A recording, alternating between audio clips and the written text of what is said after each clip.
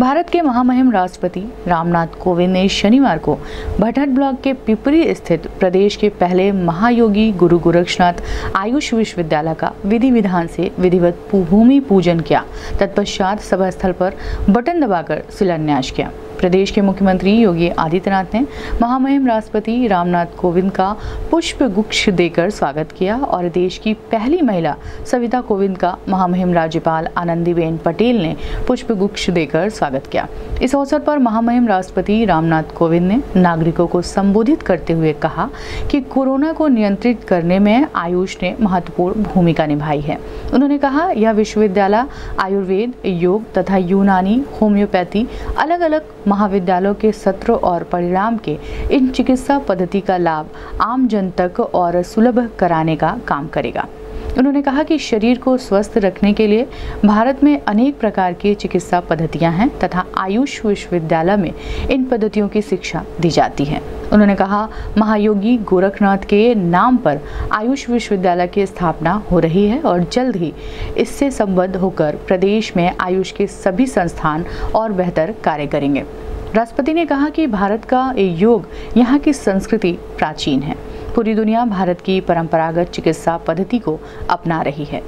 क्योंकि इन पद्धति से अनेकों रोगों का आसानी से इलाज हो जाता है और जीवन सुखमय हो जाता है। वहीं उपस्थित प्रदेश के मुख्यमंत्री योगी आदित्यनाथ ने महामहिम राष्ट्रपति को धन्यवाद दिया तथा कहा कि हम सभी देशवासियों के लिए सौभाग्य है कि भारत के चिकित्सा पद्धति को प्रधानमंत्री मोदी ने वैश्विक स्तर पर पहचान दी है और पूरी दुनिया उसका उपयोग कर रही है। उन्होंने कहा, प्रधानमंत्री मोदी के द्वारा ही यह संभव हो पाया है कि पूरी पूरी दुनिया विश्व योग दिवस मना रही है। उन्होंने कहा, पूरी दुनिया दो साल से कोरोना महामारी से परेशान है तथा ऐसा कोई भी देश नहीं होगा जो कि प्रतिरोधक क्षमता बढ़ाने के लिए भारत के औषधियों का प्रयोग ना किया हो।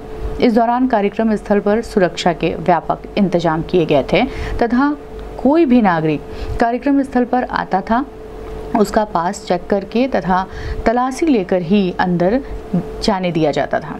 इस अवसर पर भारत की पहली महिला सविता कोविंद, महामहिम राज्यपाल आनंदीबेन पटेल, मुख्यमंत्री योगी आदित्यनाथ, आयुष विभाग के राज्य मंत्री डॉक्टर धर्म सिंह सैनी, कृषि मंत्री सूर्य प्रताप शाही, सदर सांसद रवि किशन पिपराइच विधायक महेंद्र पाल सिंह एडीजी जोन अखिल कुमार, जिलाधिकारी Vijay Kiran Anand SSP doctor Vipin Tada SDM सदर कुलदीप मीणा सहित भारी संख्या में नागरिक मौजूद रहे किसी भी क्षण उनका आगमन होगा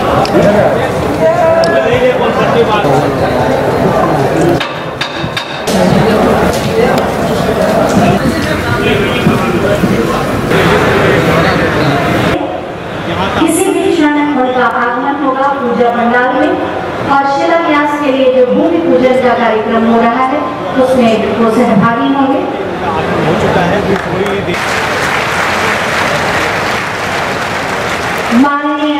राष्ट्रपति श्री रामनाथ कोविंद जी माननीय प्रथम महिला महोदया श्रीमती सविता कोविंद जी, माननीय राज्यपाल श्रीमती आनंदीबेन पटेल जी और माननीय मुख्यमंत्री माननीय श्री योगी आदित्यनाथ जी का आगमन हो चुका है। मेरे साथ ज़ोर से बोलिए, भारत माता की भारत माता की भारत माता स्वागत। पूजा प्रारंभ हो चुकी है, भाव से इसमें जुड़े।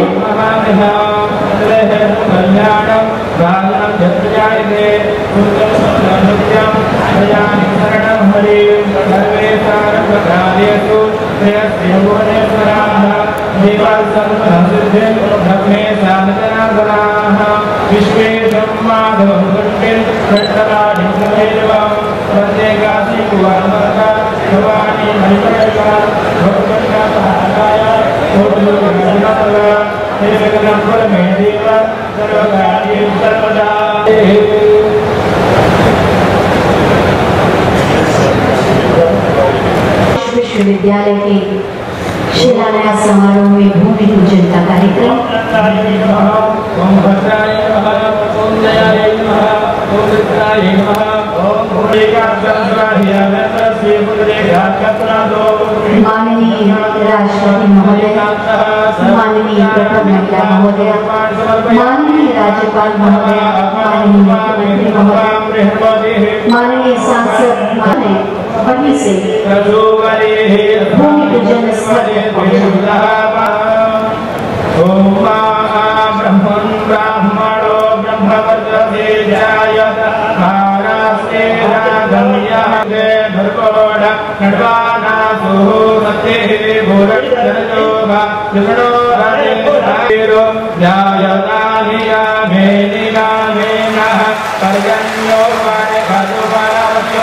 ो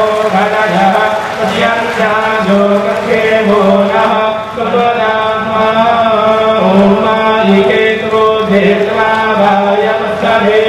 वा सविता प्रार्पयतु ते शदाय ब्रह्मण काव्यायुव्यायुन्द्राय वं प्रयवतीर्णीवा परिमा भवते न हि स्व भावस्तेन ईशतमागतगो प्रोध्रुवास्मिन् गोपदौ स्यातमभवेर्प्रजवान्यमसूर्वाहे वधोः पवित्रमसिद्यौरसिद्ध्यदिव्यसे भवो निकृपधा पसित् परमेण धाम्ना भृगुः सुगमाह्वान्माते पुण्यत्वदिह्वादो पवित्रमसि सतधारं वसो पवित्रमसि सहस्रधारं वादे सतधारेण ॐ मा प्रपस्न्यानं प्रदमपुरसा मदः गुरुजो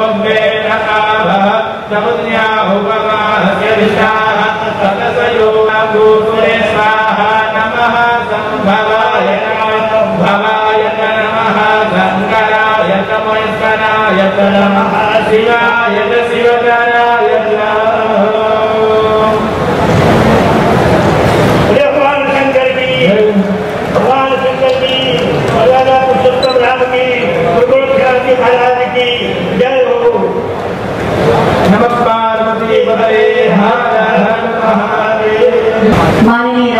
जी माननीय प्रथम महिला महोदया, माननीय राज्यपाल महोदया, माननीय मुख्यमंत्री महोदय, और विशिष्ट जन के शुभकामनाओं, मंगल कामनाओं, संकल्पों के साथ ये महायज्ञ, वास्तव में महायज्ञ ही है।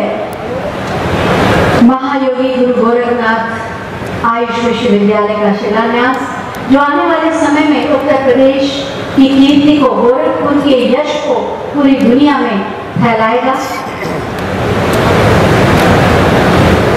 एक बार आप सब तालियों के पुष्प अर्पित करके उस पूजन में अपनी मंगल राजनीति लोक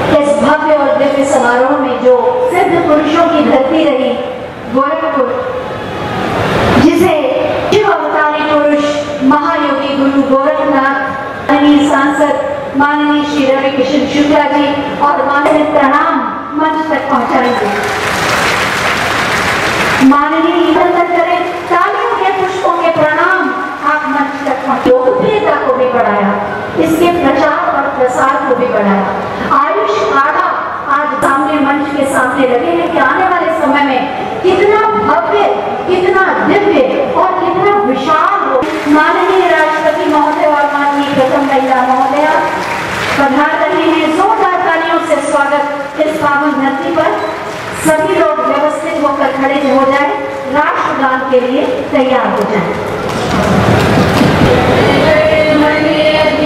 पंजाब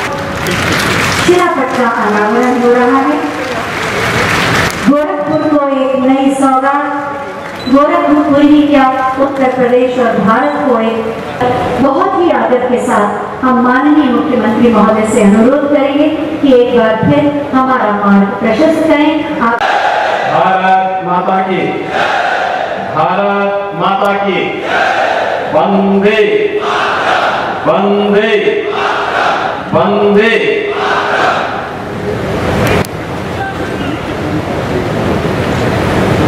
आज के इस वही भोजन और शिलान्यास कार्यक्रम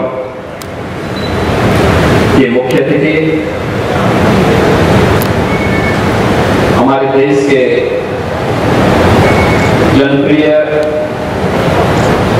राष्ट्रपति आदरणीय श्री रामनाथ कोविंद जी। देश की प्रथम महिला, श्रीमती सविता कोविंद जी। प्रदेश की मान्य राज्यपाल, आदरणीय आनंदीबेन पटेल जी। उत्तर प्रदेश सरकार में मेरे सहयोगी मंत्री, आयुष मंत्री डॉक्टर धर्म सिंह सैनी जी माननीय सांसद श्री रविकिशन जी मान्य विधायक श्री महेंद्र पाल सिंह जी आज के समारोह में उपस्थित उत्तर प्रदेश शासन में मेरे सभी सहयोगी मंत्रीगण मान्य सांसदगण मान्य विधायकगण आयुष विभाग के अपर मुख्य सचिव श्री प्रशांत त्रिवेदी जी प्रदेश के विभिन्न जनपदों से यहाँ पर उपस्थित सभी गणमान्य नागरिक बंधुओं भाइयों, बहनों शिवतार महायोगी भगवान गोरक्षनाथ की इस धरती पर मैं देश के जनप्रिय राष्ट्रपति माननीय श्री रामनाथ कोविंद जी का हृदय से स्वागत करता हूँ, अभिनंदन करता हूँ।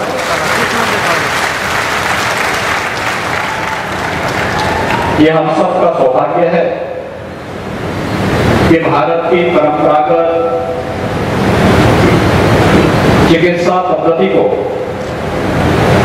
वैश्विक मंच पर आदरणीय प्रधानमंत्री जी ने जो नई पहचान दी, आज पूरी दुनिया उसका लोहा मानती है। इक्कीस जून की तिथि विश्व योग दिवस के रूप में मनाया जाना उसका एक प्रमाण है।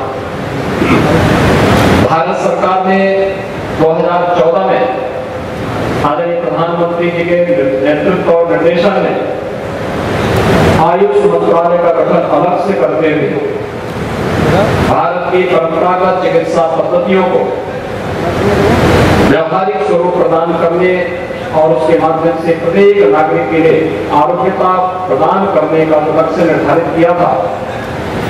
उसी का अनुसरण करते हुए उत्तर प्रदेश सरकार ने भी अपनी परंपरागत चिकित्सा पद्धतियों, आयुर्वेद, योग, यूनानी, होम्योपैथी, सिद्धा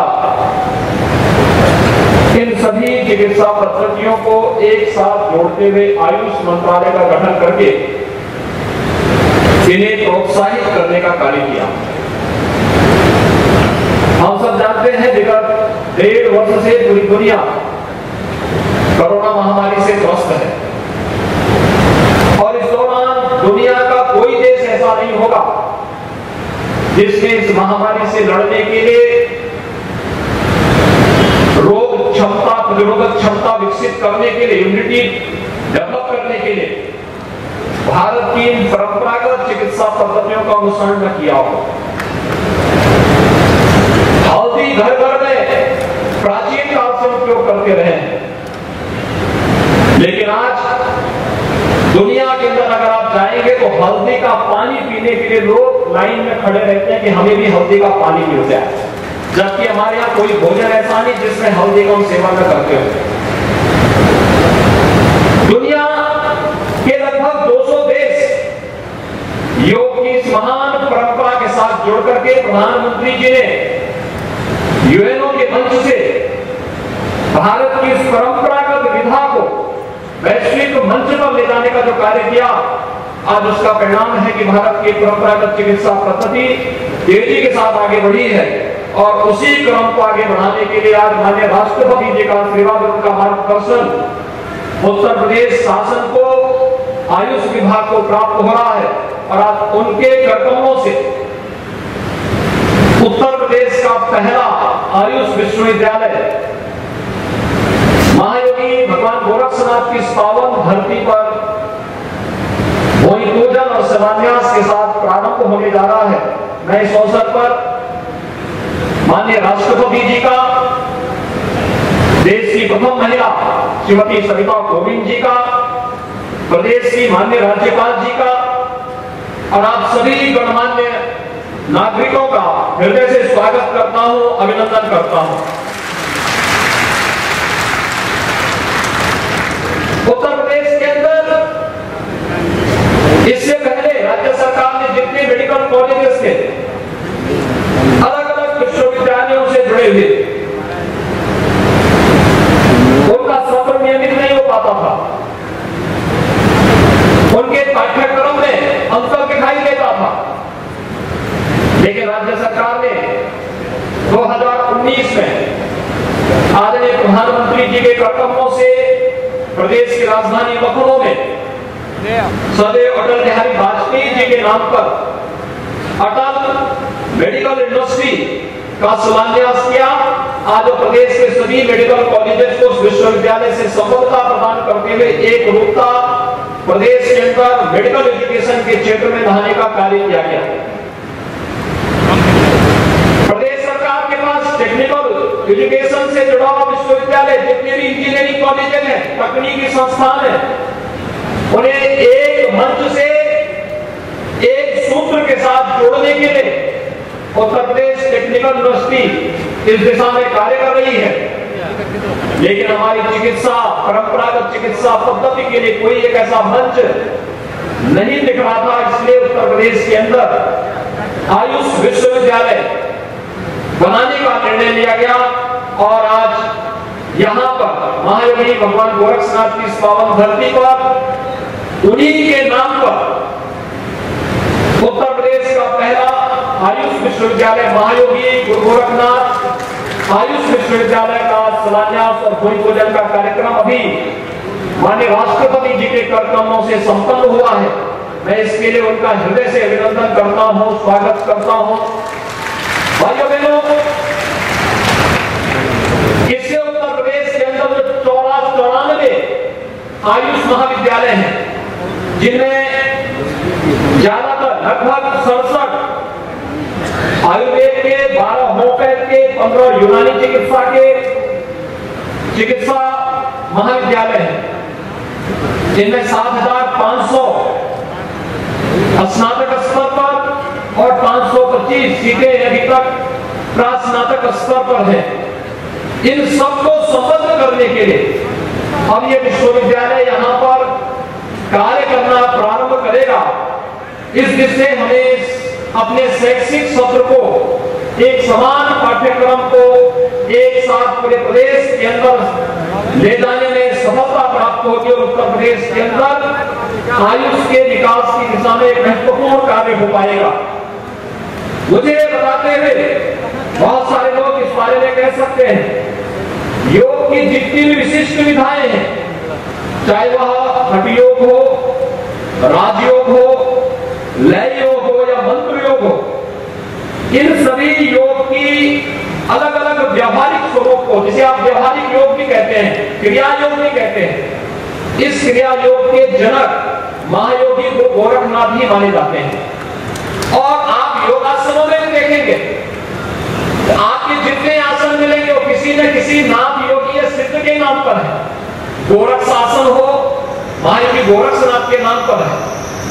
मत्स्येंद्र आसन, महायोगी गोरखनाथ जी के जो गुरु थे मत्स्येंद्र नाथ जी योगीराज मत्स्येंद्र नाथ जी, उनके नाम पर जितनी मुद्राएँ और बंद मिलेंगे योग के ये सभी पद्धतियाँ उनके साथ जुड़ी हुई है।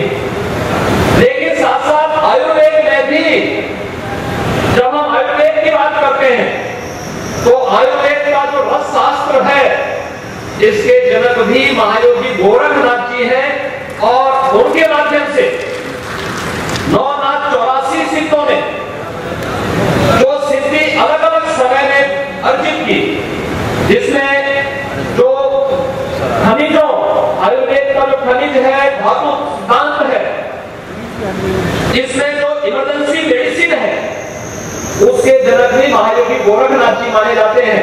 और इस बीच से महायोगी गोरखनाथ जी के प्रति श्रद्धा और सम्मान व्यक्त करते हुए परंपरागत चिकित्सा पद्धति को, वह आयुर्वेद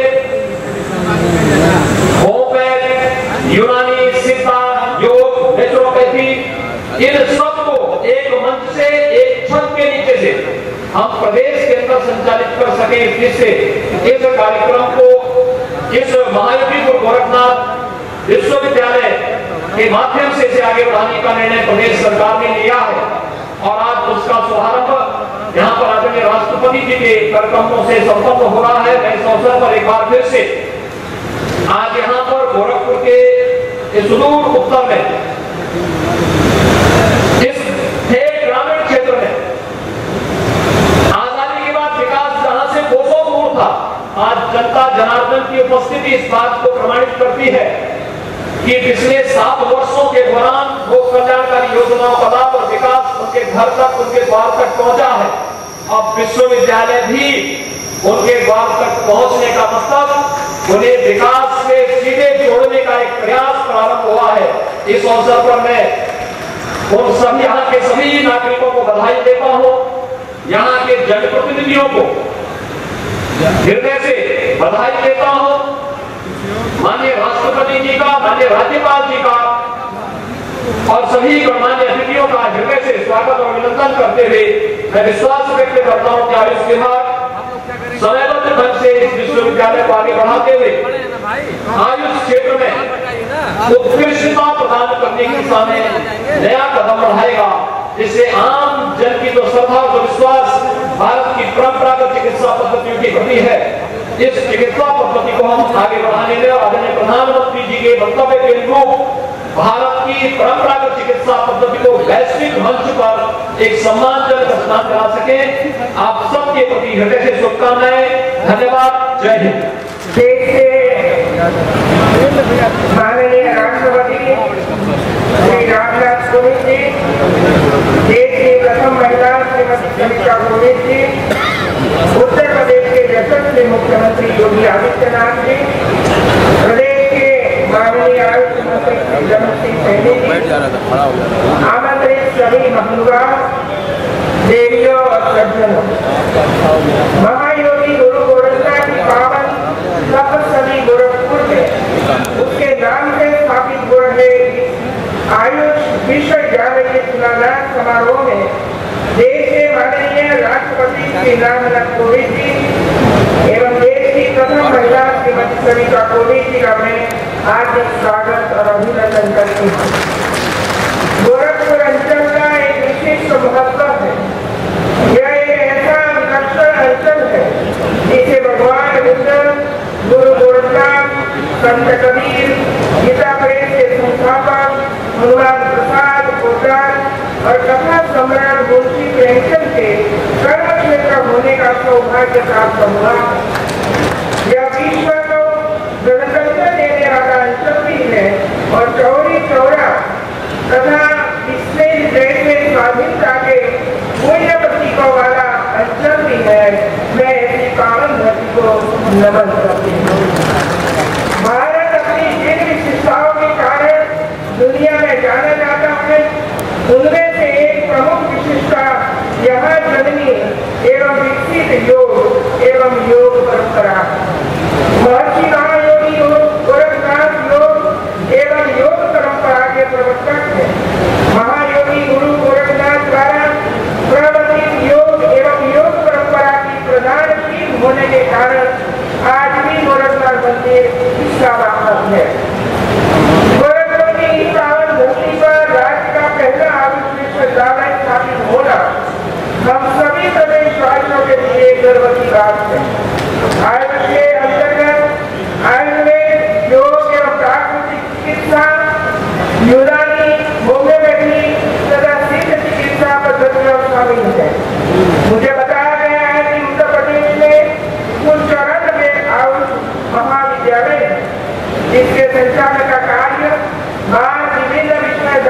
माध्यम से होता है अलग अलग विषय ज़्यादा से संचालन होने के कारण छात्र छात्राओं का अध्यापन सत्र नियमन एवं परीक्षा परिणाम में एक रूपा नहीं रहती है जिसे विद्यार्थियों को अनेक प्रकार की समस्या का सामना करना पड़ता इसी को व्यक्तिगत करते हुए प्रदेश के सर्वोच्च मुख्यमंत्री योगी आदित्यनाथ जी ने इस विश्वविद्यालय की स्थापना दान निर्णय किया आप सभी जानते हैं कि पूर्ण रूप से प्राकृतिक सिद्धांतों पर आयुर्वेद विश्व का प्राचीनतम चिकित्सा विज्ञान है। आयुर्वेद के प्राचीनतम ग्रंथों में चरक संहिता सुश्रुत संहिता और अष्टांग हृदय प्रमुख है। विश्व में आयुष पद्धतियों की लोकप्रियता में निरंतर वृद्धि हो रही है लेकिन पारंपरिक एवं प्राचीन चिकित्सा पद्धतियों की विश्वसनीयता एवं स्वीकार्यता को अंतर्राष्ट्रीय मानक के अनुरूप स्थापित किए जाने हेतु उत्तर प्रदेश में कोई शोध संस्थान नहीं है।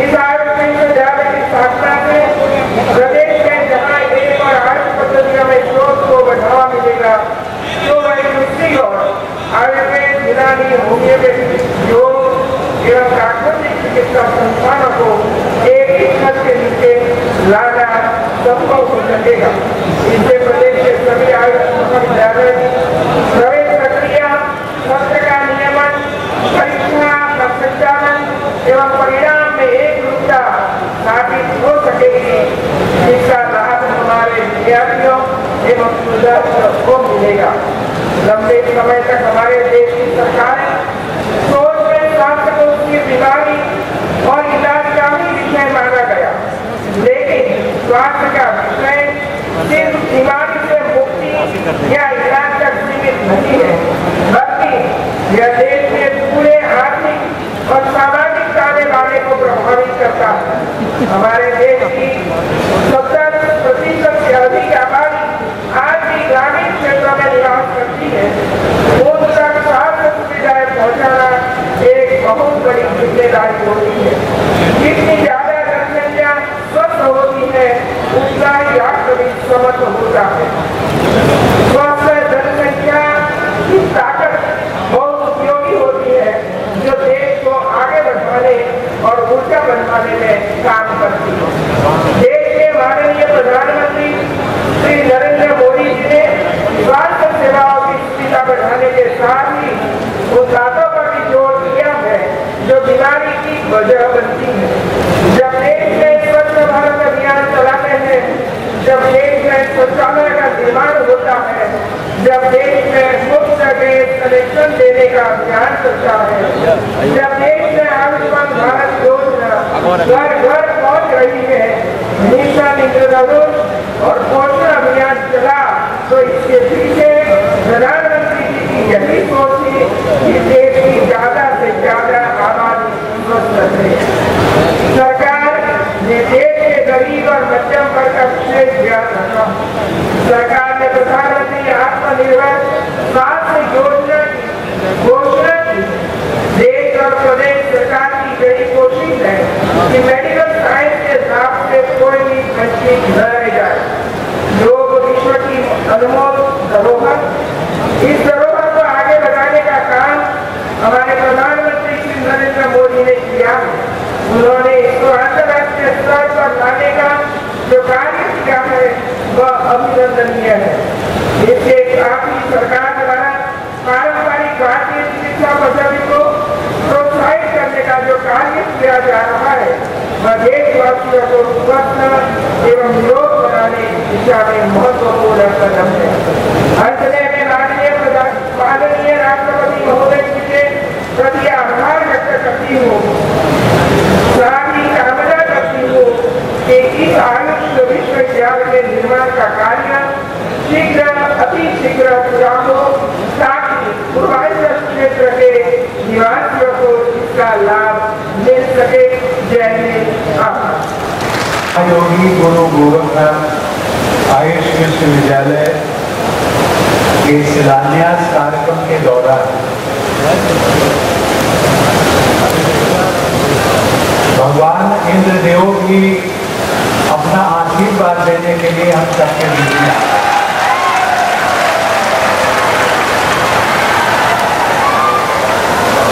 भारतीय शास्त्रों में एक है कि किसी शुभ कार्य जब संपन्न हो रहा हो, उस दौरान यदि आकाश से पानी की बूंदें गिरने लगे तो उसको कहा जाता है, ये कार्य शुभ से अत्यतम अत्यतम शुभम हो गया। ये संयोग है। जब हम लोग सुबह लखनऊ से चले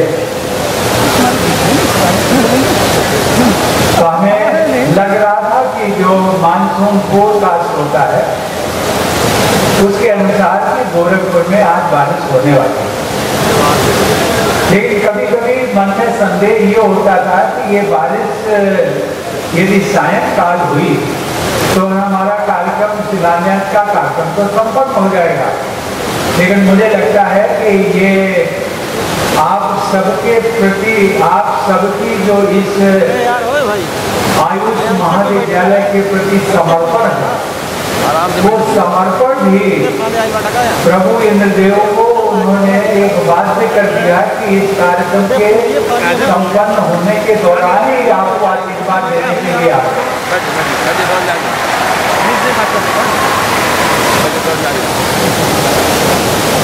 कार्यक्रम में मैं प्रमुख रूप से उपस्थित उत्तर प्रदेश की राज्यपाल श्रीमती आनंदीबेन पटेल जी, उत्तर प्रदेश के मुख्यमंत्री श्री योगी आदित्यनाथ जी प्रदेश के आयुष मंत्री श्री धर्म सिंह सैनी जी, लोकसभा सांसद श्री रवि किशन जी, विधायक श्री महेंद्र पाल सिंह जी,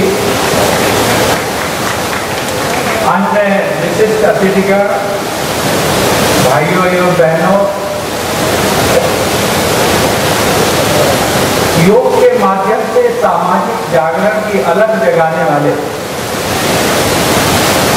और भारतवर्ष में गुरुओं की महिमा को पुनः स्थापित करने वाले गुरु गोरखनाथ जी ने कहा था कि यदि सुखम, तद स्वर्गम, यदि दुखम, तद नरकम। अर्थात जो सुख है, वही स्वर्ग है और जो दुख है, वही नरक भारतवर्ष में वैदिक काल से ही आरोग्य पर विशेष बल दिया जाता है। वेदों, उपनिषदों, पुराणों और अन्य प्राचीन ग्रंथों में भी आरोग्य की महत्ता का वर्णन है। कहा गया है कि शरीर माध्यम खलु धर्म साधना अर्थात शरीर ही समस्त कर्तव्यों को पूरा करने का पहला साधन होता है।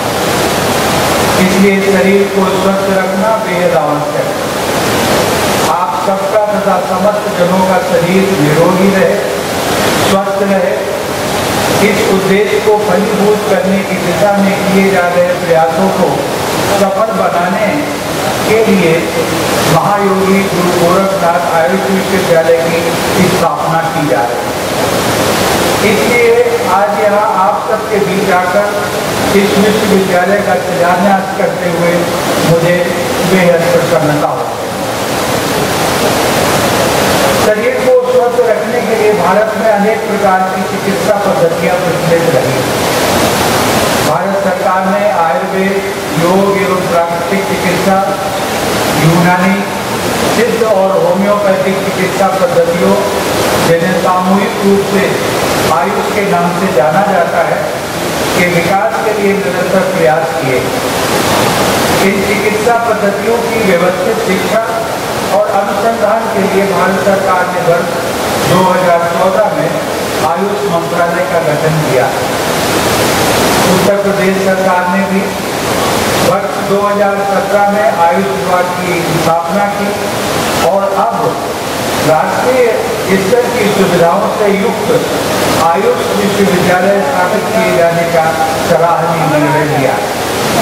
मुझे विश्वास है कि इस विश्वविद्यालय से संबद्ध होकर प्रदेश के आयुष चिकित्सा संस्थान अपने अपने क्षेत्र में बेहतर कार्य कर सके।